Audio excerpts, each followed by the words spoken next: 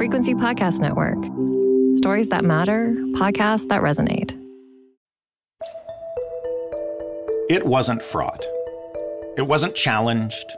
It wasn't stolen by the machines or by the courts. It wasn't even particularly close. The United States had a choice to make. Its citizens chose Donald Trump. Again. And now, whatever you may feel about that man, Canada, and the rest of the world have to prepare for what that choice means. What can the results of Tuesday night's US election tell us about the ones looming in Canada's future? What does a President Trump mean for Canada US relations, whether that's under Prime Minister Justin Trudeau or whomever replaces him? What does a second Trump administration mean for Canada as a whole? For its economy, for its border, its security and defense and place on the global stage? Our current Prime Minister's father famously compared Canada US relations to sleeping next to an elephant, making us aware of every grunt and twitch. And it seems that the elephant is about to do a whole lot more than just grunt and twitch in the near future. So, what should Canada be doing to prepare?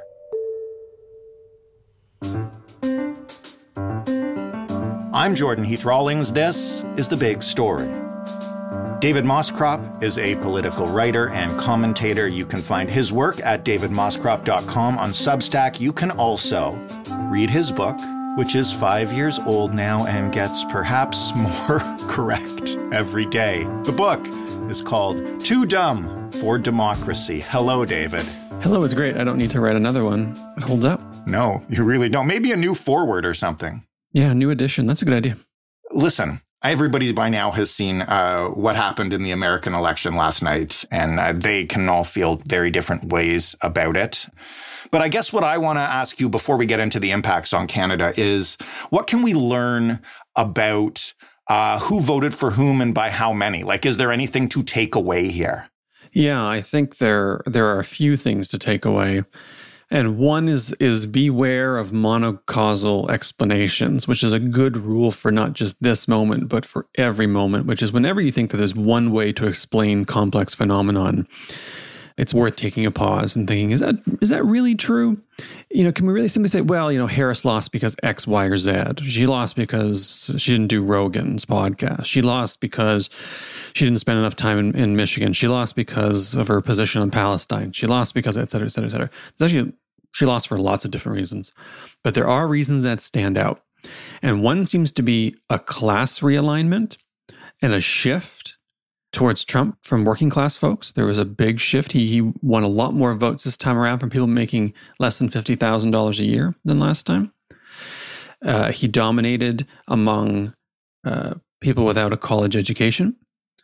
And then, of course, familiar patterns. He dominated among men, white men, but he also won white women and Latino men. And so you start to say, okay, so he's put together a coalition of people that is rooted in, among other things, uh, working class folks and the non college educated who turned out to support him and turned away from the Democrats. Here's one thing I want to ask, especially because you just ran through, you know, all those uh, reasons people say why Kamala Harris lost. And I know both statements are technically true, but did she actually lose this race or did Donald Trump just go out and win it?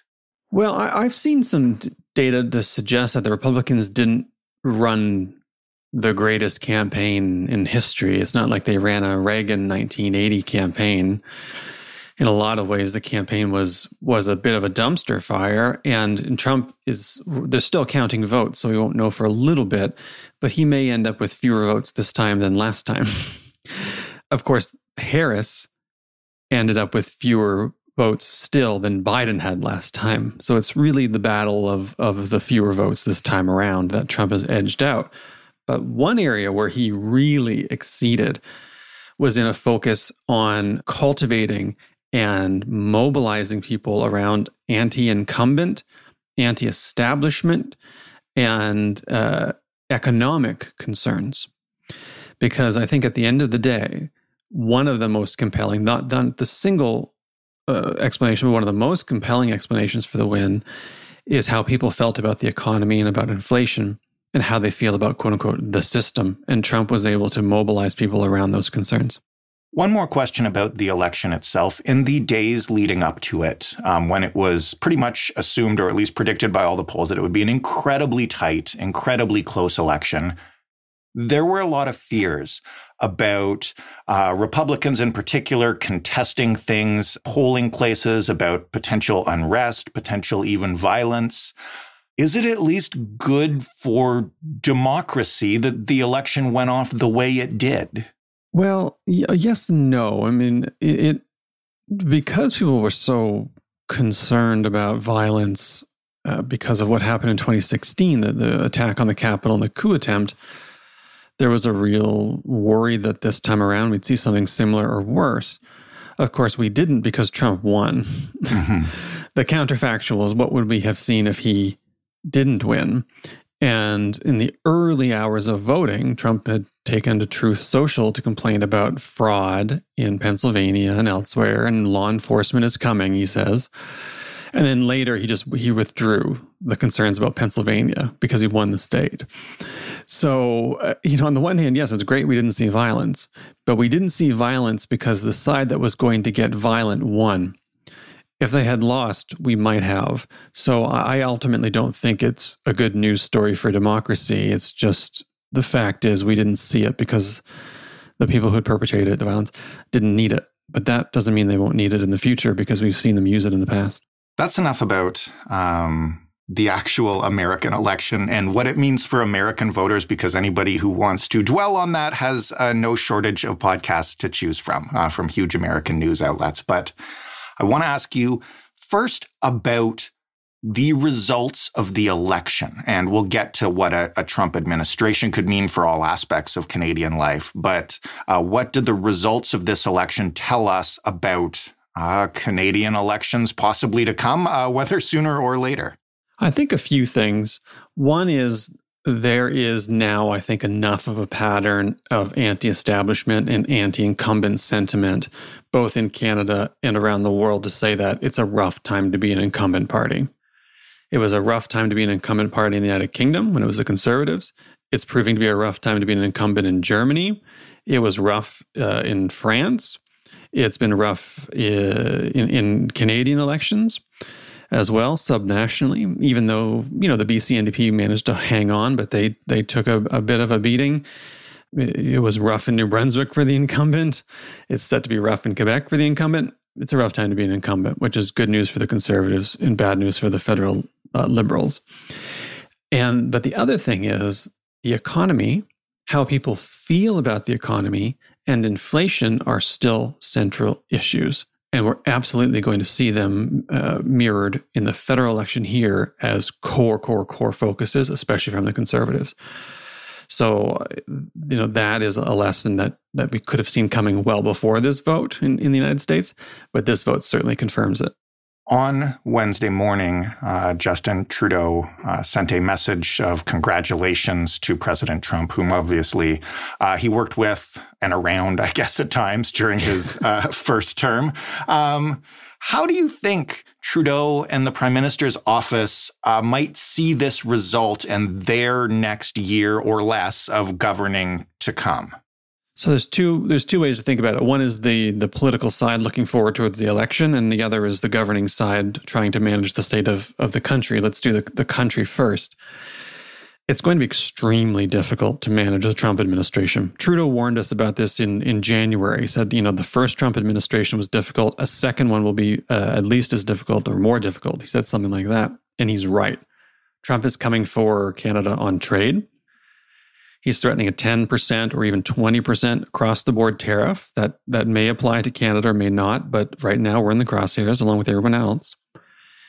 Defense is going to be a top issue, uh, specifically spending and reaching the NATO commitment uh, of 2% of GDP, which would require us to double our spending, which is going to be hard to do if we're in a recession because of a 10% tariff.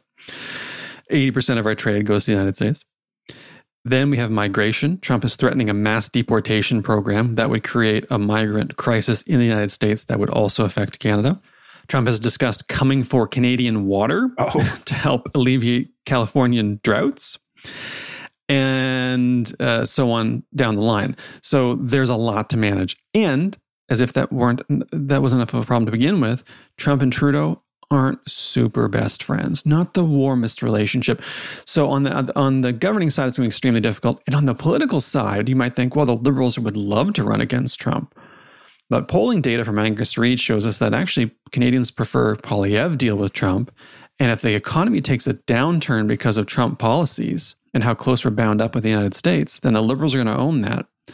And so I'm not convinced the liberals are in good shape because of the Trump win. I actually think it's going to be a big problem for them. When you look at Trump's proposed policies, and you just mentioned some of them and how he might or uh, might not enact them towards Canada, how do we prepare for uh, I guess, a more protectionist, inward looking America. Kind of when, when Trump won the first time, I think there was a temptation, not just from Canada, but a, a lot of governments around the world to say, like, wow, you know, that was a fluke. Um, America made a huge mistake. We need to weather the storm for four years. And ultimately, that's what happened. But uh, as we mentioned off the top, this was not that close. This is the leader Americans clearly want. How does Canada brace for that fact? I think Canada's best bet is to do what it did last time. Uh, I, I, don't think there's a lot of innovation to be had here. Um, you know, the Trudeau government did its best in 2016, and I think an objective, reasonable, sort of dispassionate analysis would suggest they actually did okay, all things considered. It could have been a lot worse. And the threat is bigger this time, so they're going to have to rely on old strategies even more diligently in the past. But I think those strategies are good.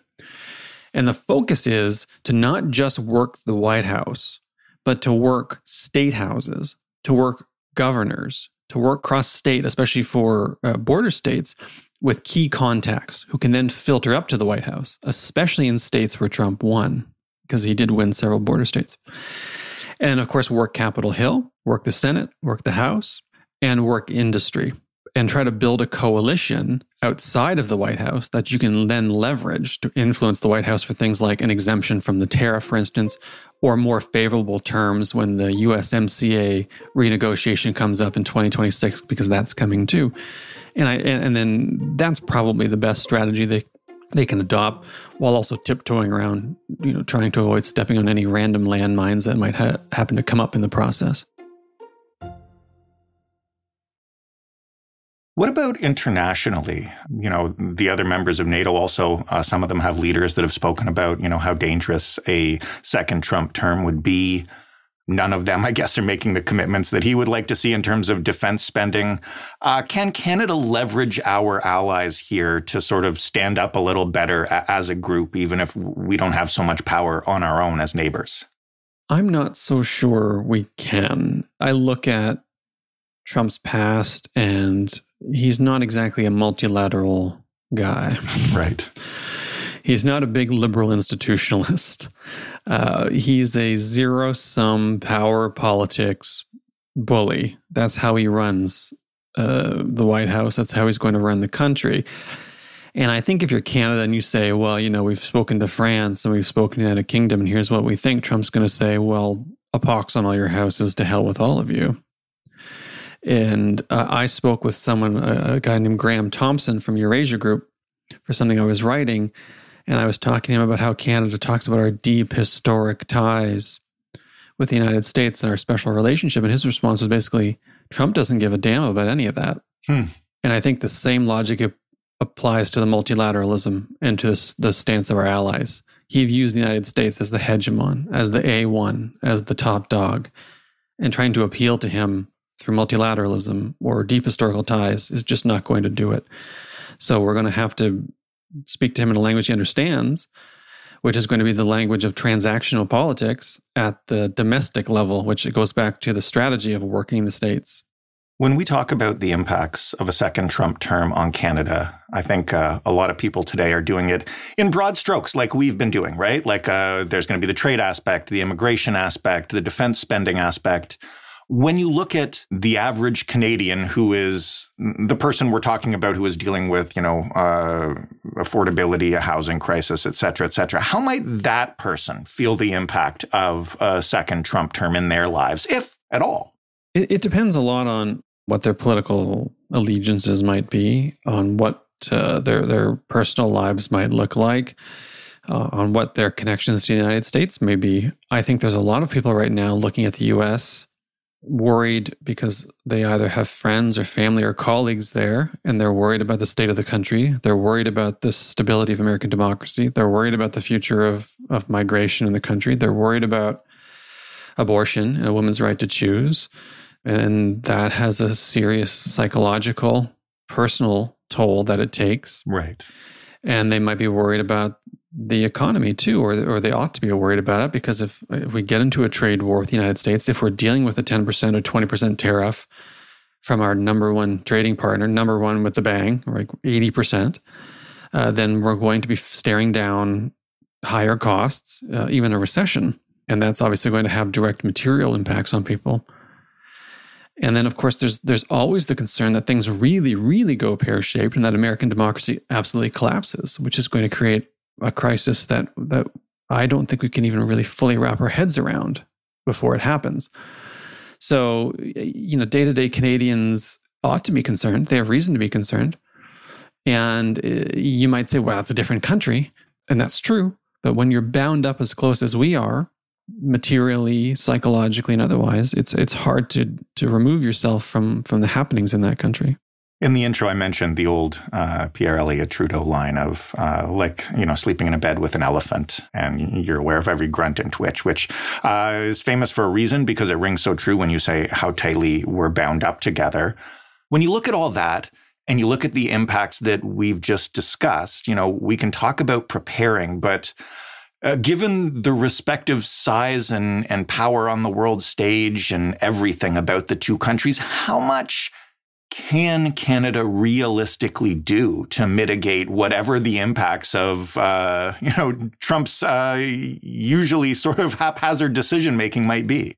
Yeah, uh, that's a great question, and it, it really depends on what you're talking about. Is it about saving our own bacon? Is it about protecting, helping pr- to protect the republic itself? Is it about trying to protect the global order, for instance, NATO? I think on foreign affairs, our standing has been greatly diminished over the last few decades. It's unclear what the Canadian foreign policy strategy is. It's unclear what the defense policy strategy is. We're seen as, as weak free riders, not just by the United States, by the way, by global partners around the world. So I think on foreign affairs, we are too diminished to really play a significant role in stabilizing things at this point. That's my sense, at least domestically, we can try to protect ourselves through the ways we discussed earlier. But I don't think we're going to get away with lecturing the United States on their democracy. So I would say, on, on balance, we're not going to be able to exert a ton of influence on the United States as the United States or on the United States as part of a global regime. But we might be able to mitigate, to limit the damage domestically. And you might say, well, if you're doing a calculus, maybe that's where we should put our energy. And that may change if the government changes. We may see a, a realignment under a Poilievre government, but for at least the next several months, perhaps a year, uh, I think that's what we should expect. I kind of just mentioned um, Trump's haphazard decision making, and you know we can talk a lot about policies he promised during his first term that he just kind of ignored, or ideas he came up with that then he never pursued. But there, of course, also are ones he did. In the few months before he does take power, what will you be looking for to get a sense of what we can actually expect in terms of the impact on Canada of the issues we've just talked about? Like how much of this is is going to become real. Because Trump, as you mentioned, is so mercurial, it's it's very hard to know, but it's reasonable to look at past as prologue in the last couple of months and say, oh, he does seem to have a few themes he comes comes back to and actually seems to care about. One of them is tariffs. So we can look and see does that remain a priority? I think it will. That could be a day one priority. So then we say, okay, well, how do we fight then to make sure we're exempt? Two, trade uh, more broadly, which is to say the the USMCA. He's already said he wants to renegotiate that. He's done it once. He wants more access to Canadian dairy. He wants more protectionism built in. So effectively, he wants to undermine the trade regime. So we can assume that's going to be on the agenda and prepare for that.